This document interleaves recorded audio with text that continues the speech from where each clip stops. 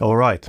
Now that the board is online, it's updated, let's see how we can use the Google TPU Machine Learning Accelerator with the board.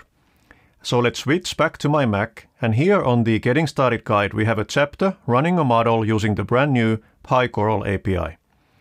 So let's simply copy and paste these commands from here to the development board.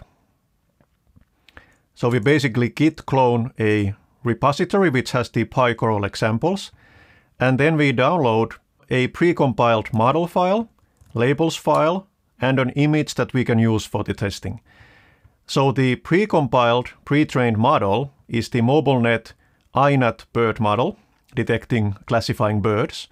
It's quantized for TensorFlow Lite and it's compiled for the EdgeTPU machine learning accelerator. The second file is the labels file that the inference result will refer to, which is basically the name of the birds. And then we have an example file that we can use for inference, a nice picture of this parrot here.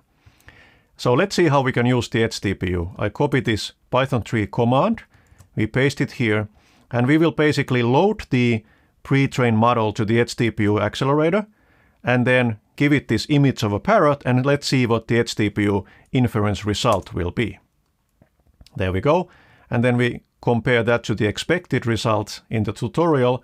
Yep, it is the Scarlet Macaw with a 0.75 machine learning inference confidence. So that works. All right, we are getting there. Now as your final decision in this interactive tutorial, please choose if you want to see how to connect this board to Google Cloud Platform or if you want to wrap up this show. Please make your final selection now.